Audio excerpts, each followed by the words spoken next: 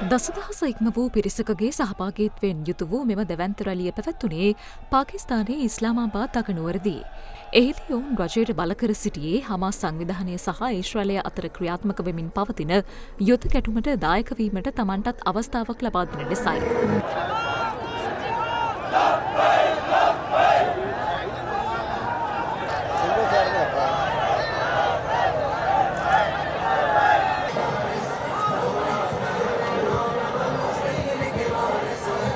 මෙවරලිය සංවිධාන කර තිබුණේ එරට ඔග්‍ර මතවාදී පක්ෂය ලෙස සැලකෙන ටෙහෙරිකී ලබයික් නම් පක්ෂය විසින්.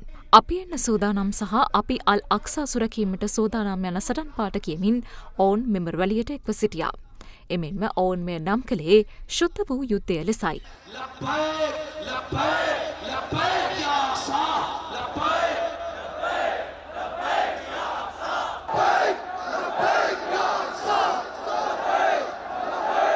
රැලිය එරට අමරිකානු තනාපති කාර්යාලය දක්වා ගමන් කිරීමට උත්සාහ කළ නමුත් පිරිස අධ්‍යාරක්ෂිත කලාපයට පිවිසීම වැලක්වීමට බලධාරීන් පියවරගත්තා.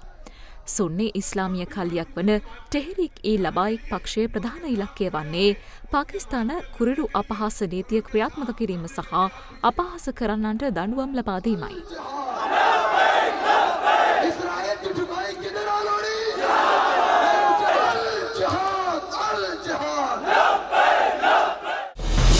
අද දෙරන YouTube නාලිකාව YouTube අද දෙරන දැන්ම සබස්ක්‍රයිබ් කරන්න.